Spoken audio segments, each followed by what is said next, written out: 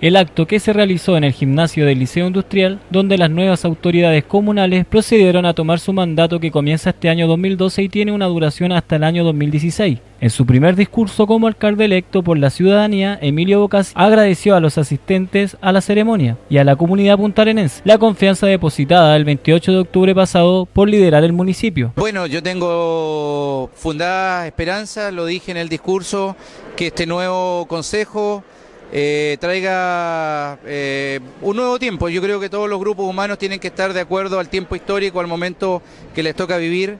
Yo creo que tenemos la oportunidad de aprender de todo lo que nos ha pasado a lo largo de nuestra historia y hacer que Punta Arenas nuevamente vuelva a recuperar el sitial que tuvo en algún momento.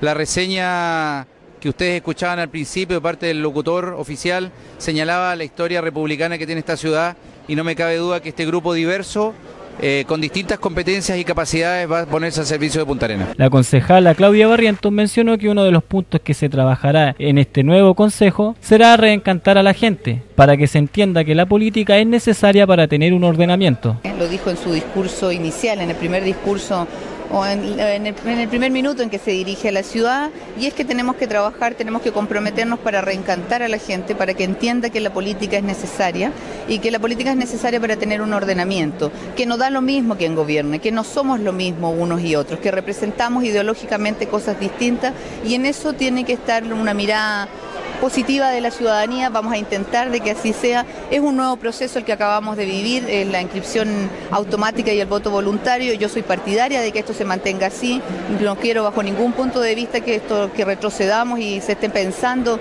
tal vez en volver a tener un voto obligatorio. El concejal Juan José Arcos señaló que los puntos que se tienen que fortalecer para este periodo son las áreas de seguridad ciudadana, deporte, cultura, educación, turismo y además agregó que se trabajará con el gobierno que sea Obviamente que hay temas a los que hay que darle un mayor énfasis. Me parece que, por ejemplo, el tema de la seguridad ciudadana, el tema de la basura, el tema también de la corporación municipal son temas prioritarios hoy día en el municipio.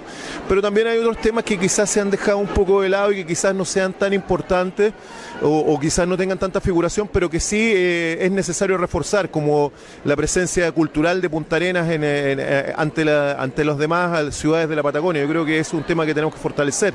El turismo es un tema que tenemos que fortalecer. Entonces yo creo que hay, hay muchas facetas que trabajar, hay muchísimas facetas de trabajar.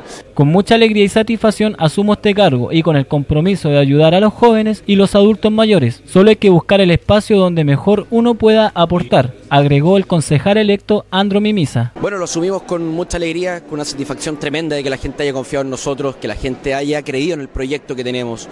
Eh, yo hoy día lo decía en la mañana, esto es una voluntad colectiva, no depende solamente de una persona, es un proyecto en conjunto, donde hemos ido avanzando paso a paso.